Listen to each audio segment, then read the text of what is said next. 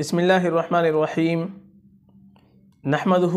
अला रसूल करीम अम्माबाद महतरम नाजरीन कराम एक साहिबा हैं हीना कौसर उनका सवाल है ज़ारिया नाम के माने बता दीजिए ज़ारिया नाम रखना कैसा है ज़ारिया जो लफ्ज़ है ये उर्दू की जो लुगात की किताब है फ़िरोज़ुल्लुगात जिसको कहा जाता है उसमें उर्दू की ये लुगात है फ़िरोज़ुल्लुगात में ज़ारिया के माना लिखे हैं, निचले जबड़े के पिछले हिस्से की हड्डी।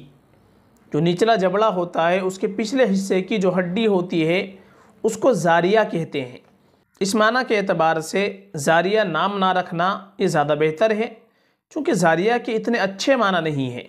और हमेशा हदीस के अंदर अच्छे नाम रखने की तरगीब दी गई है कि अपने बच्चों के अच्छे माना वाले नाम रखें।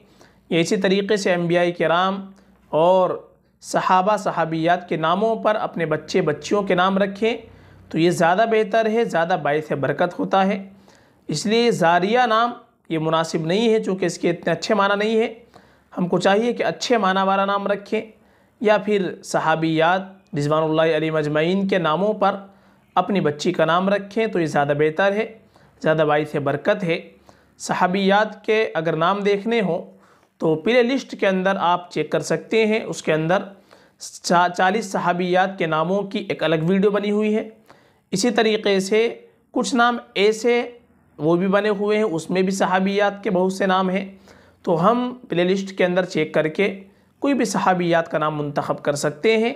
सहाबियात के नाम रखेंगे तो उनकी नेक सिफ़ात भी हमारे बच्चों के अंदर दाखिल होगी। फ़कत वल्लाम